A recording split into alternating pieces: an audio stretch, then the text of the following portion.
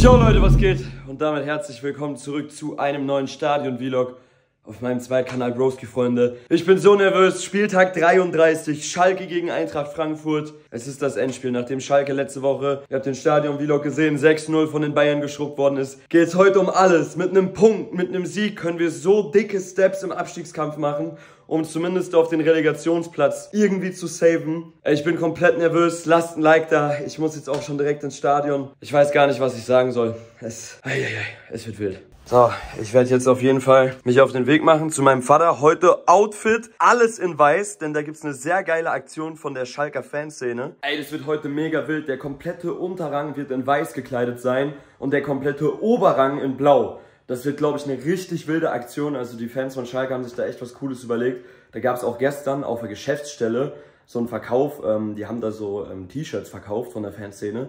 Und da waren einfach 10.000 Leute gestern. Richtig, richtig krank. Das ist alles angerichtet für dieses Spiel, Mann. Ich äh, mache mich jetzt auf den Weg. Die Lichter gehen aus hier. Let's go. Ah, ich bin nervös! So, wir sind im Auto. Mein Papa ist natürlich wieder mit dabei. Stammgast aktuell. Wie das so sich aktuell gehört, wir haben schon wieder 15 Minuten lang gerätselt, wer wie viele Punkte noch holt. Es wird schwierig heute, ich muss sagen. Ähm, wir sind sehr nervös, natürlich beide in weiß gekleidet. Wichtig und richtig. Guck mal, ich sag's immer wieder bei dir, du bist ja treu, du hast ja den Manchester City Schal noch von den guten Zeiten. Ich brauche von dir einen Tipp bitte für heute. Sieg, egal wie. 2-1. 2-1. Freunde, wir sind jetzt gleich am Stadion und es ist so geil, du siehst direkt hier hinten, wer alles im Unterrang und wer im Oberrang sitzt. Also bis jetzt halten sich echt viele daran. Hier guck mal, kommen wieder welche in komplett weiß, da hinten sieht man komplett weiß. Bin echt gespannt, wie das dann im Stadion aussehen wird, weil die Frankfurter, die machen sogar auch mit. Die gehen nämlich heute auswärts alle in komplett schwarz. Also es könnte ein heftiges Bild im Stadion geben. Bin gespannt. Ich hoffe, das wird cool aussehen. Ja, ihr kennt es aus den letzten Stadion-Vlogs, ne? Aber Nervositätscounter kann wieder rein. So, wir sind jetzt äh, auf dem Weg ins Stadion. Nicht wundern, dass ich hier gerade nichts von der Anfahrt gefilmt habe. Aber da ist gerade vorm Parkhaus wohl irgendwie ein Schalke-Fan umgekippt. Also ganz, ganz eklige Szenen. Ich glaube, die haben da sogar Wiederbelebungsversuche gemacht mit einer Herzdruckmassage. Weiß gar nicht, was ich sagen soll. Also da läuft einem wirklich ein richtiger Schauer den Rücken runter. Alles Gute für dich. Alles Gute wünschen wir und äh, passt auf euch auf, wenn ihr ins Stadion geht. Ne? Eieiei. So, wir gehen mal rein, Freunde. Darf man gar nicht drüber nachdenken. Freunde, ihr seht, viel blau, viel weiß. Hoffentlich alle so, wie es der Rang vorgibt. Ich bin gespannt, er ist schon echt voll. Zwei Stunden bis zum Spiel. Sieht sehr geil aus.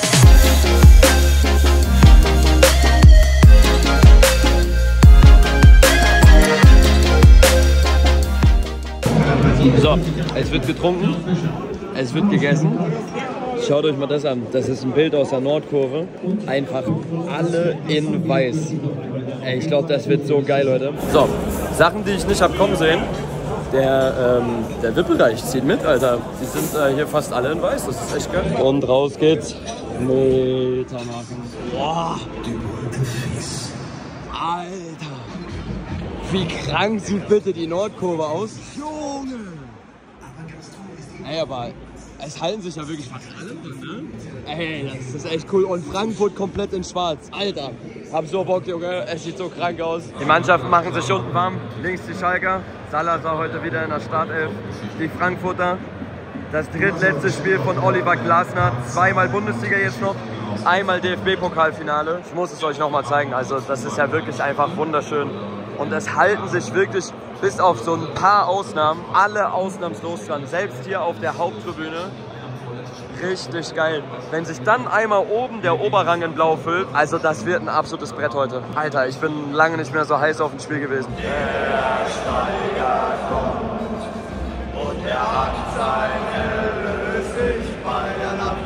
Er hat sein helles Licht bei der Nacht schon angezündet, schon angezündet.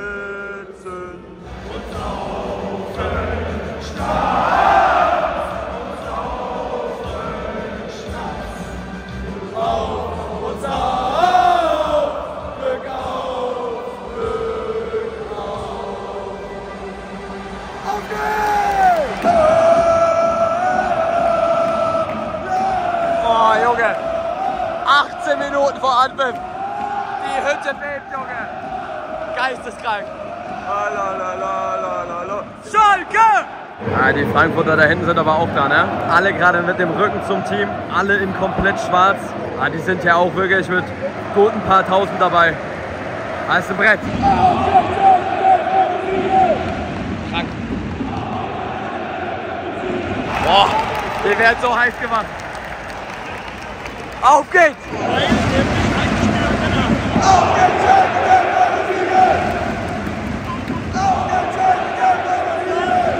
Frankfurt-Spieler kriegen auch nochmal Support da hinten. Und dann gehen beide Mannschaften rein. Und die Nordkurve ist komplett da.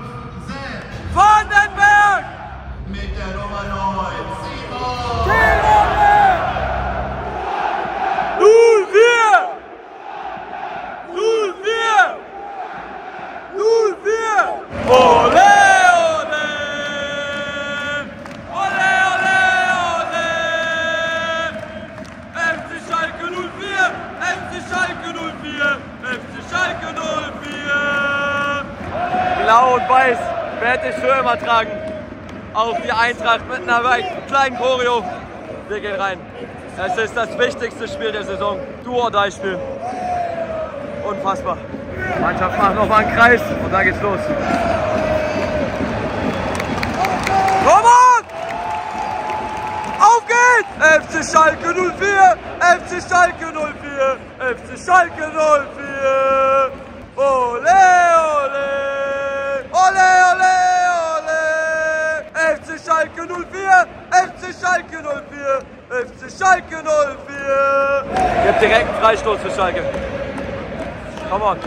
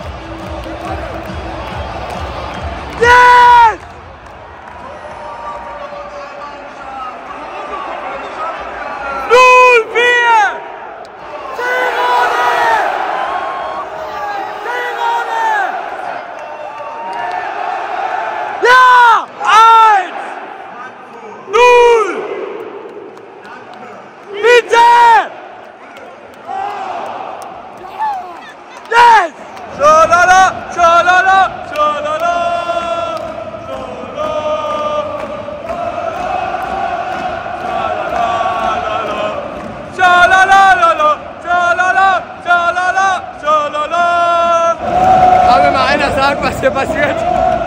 Ein 1-0 nach einer Minute. Ich glaube, ich habe sogar beim Tor irgendwie gefettfingert. Und es nicht gefüllt, aber ist ja jetzt egal. Freistoß für Frankfurt. Der hält doch! Hey! Stark, Junge, stark, stark, stark. Jawohl, Junge. Jawohl. Und geh! Ey! Ey! Sing runter den Ton! Steht auf, wenn ihr Schalker seid! Steht auf, wenn ihr Schalker seid! Kein Foul! Nicht! Nicht! Ja! Gar nicht! Kole Moani wird brutal ausgepfiffen. Keine Ahnung, ob es ein Foul war, aber egal. Oh ne, da ist irgendwo ein Tor gefallen. Bitte Hertha. Nicht Bochum. Ah, okay. Kein einziges Tor gefallen. Perfekt. Komm, Salazar, Tirode, mach nochmal. Mach nochmal. Oh! Stimmung ist absolut brutal. Der Kessel brennt, Alter. Es ist unfassbar. Es ist unfassbar. Unfassbar, wie das Ding hier brennt. Ey, Runter wurde so umgehauen. Was soll das? Oh nein, wehe, wehe, wehe, wehe. Ey, da muss aber Videobeweis machen. Ey! 100% Videobeweis. Doch frech, Alter. Also, es war ein Torwartfehler von Svolo, keine Frage, aber da musst du Videobeweis machen. Der Konter entsteht nur so, das ist eine absolute Frechheit. Absolute Frechheit. Der liegt da immer noch. Also, da, sorry, aber es ist ein Skandal, wenn das zählt, ne? Er geht hin, er guckt sich an. Er guckt sich an. Meiner Meinung nach, klar. Sorry, aber der Elfmeter, äh, der Konter, ich kann schon nicht mehr reden. Das ist ja geistkrank. Entsteht nur so. Ah aber wenn der den nicht pfeift, NRW-Verbot. Was? Was? Also das ist einfach geschoben. Das macht ja nicht mal Sinn. Kein Sinn. Fans sind aber direkt wieder da. Egal, weitermachen. Trotz allen Widrigkeiten. Schalke! Digga, er legt sich nur auf den Boden. Die ganze Zeit, der Wichser. Ey! Ey! Mann! Das ist wieder gelb! Das ist gelb-rot! Also der Schiedsrichter ist ja wirklich geistkrank.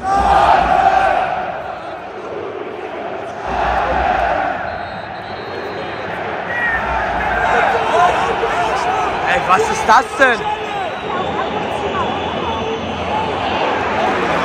Oh mein Gott, Alter. Oh mein Gott. Oh, den hätte ich gepfiffen. Ich glaube, das war einer. Ey, Digga, was will dieser scheiß Kolomoani, Alter? Was willst du? Ey! Was ist denn los mit dem? Sich achtmal fallen, Alter. Ja, das ist absolut lächerlich. Absolut lächerlich. Oh nein, oh nein.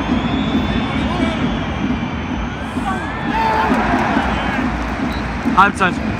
Halbzeit. Oh Gott. Boah, ich bin fertig mit den Nerven. Die Nordkurve ist komplett da. Gibt kompletten Support. 1-1 zur Halbzeit. Das ist vollkommen in Ordnung. Vollkommen in Ordnung. Aber wir brauchen den Sieg. Also es ist Halbzeit, ich äh, kann hier kein gutes Fazit abgeben. Ähm, ich bin wirklich auf 180. Aber ich bin so nervös. Schiedsrichter, muss ich sagen, finde ich sehr schwer. Aber kann auch Fanbrille sein. Ich würde sagen, wir sind leicht besser. Ähm, ich glaube, Terodde und Jens fehlen in Leipzig jetzt. Das ist auch nicht gut.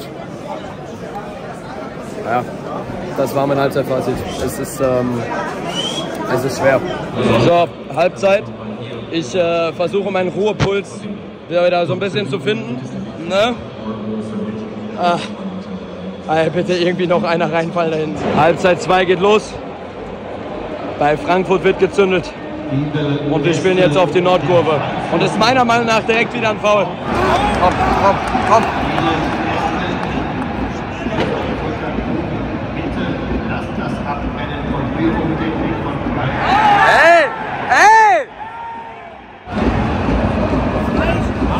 Ey!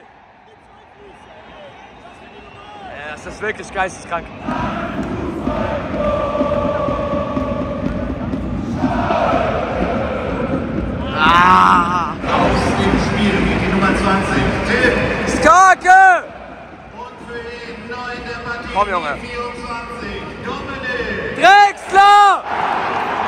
Frankfurt. 2-1. Nicht aufgepasst. Unfassbar. Unfassbar. Das ist ein Genickbruch.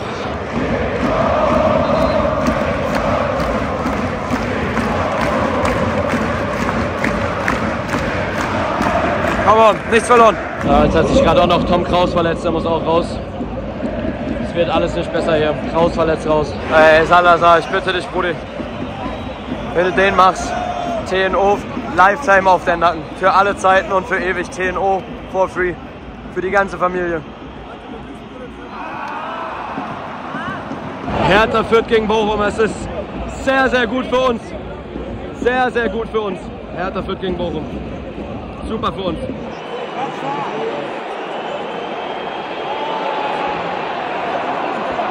Meine Güte, Alter. Junge. Junge. Das Hertha gegen Bochum führt, ist super für uns.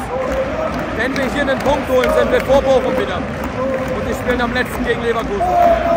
Wir brauchen diesen Punkt. Hey! Alter, es ist geisteskrank, dass er nicht pfeift. Jawohl, Henning, jawohl!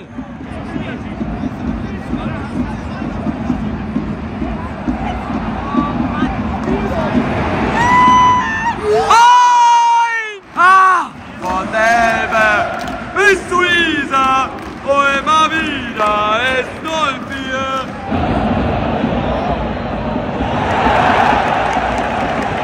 Boah, Jesus, Digga, ich dachte gerade, das gibt einen Elfmeter. Heilige Scheiße. Oder?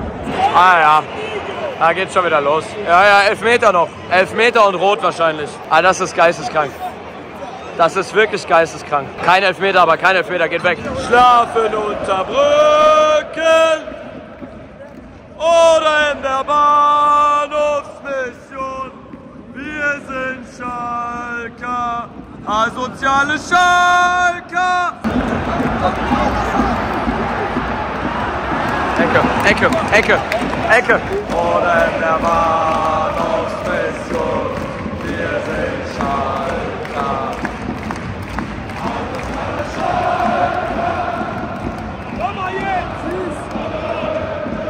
Ja. Oh nein! Weiter! Das gibt es nicht. Der letzte Pass.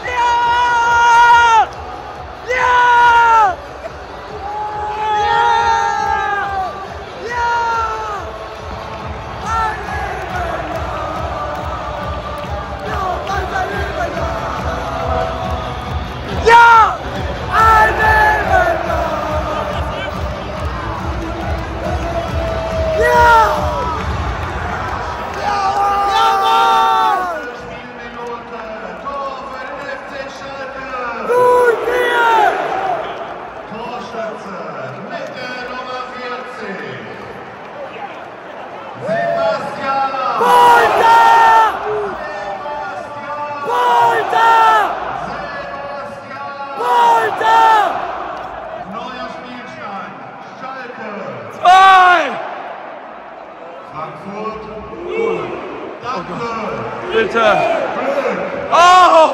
Ich bin nervlich am Ende. Ich bin am Ende. Ich kann nicht mehr.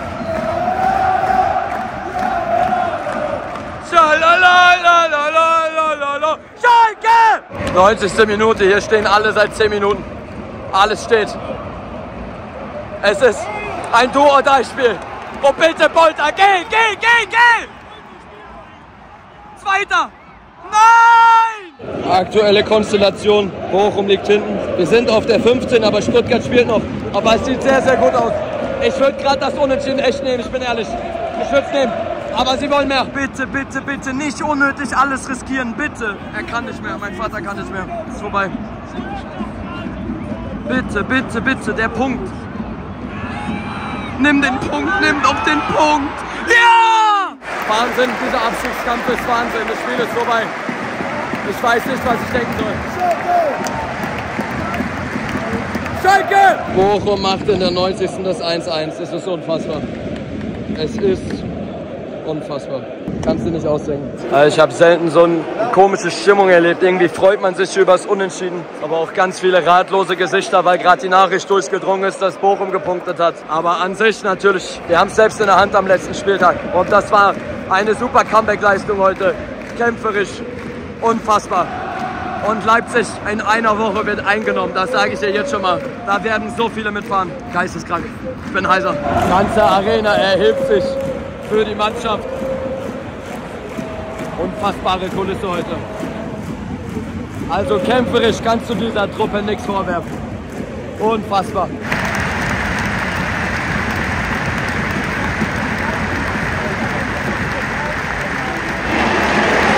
Capo macht nochmal eine Ansage, macht die Mannschaft heiß. Fürs Auswärtsspiel nächste Woche. Wir müssen auf Stuttgart morgen hoffen. Ganz, ganz krank da.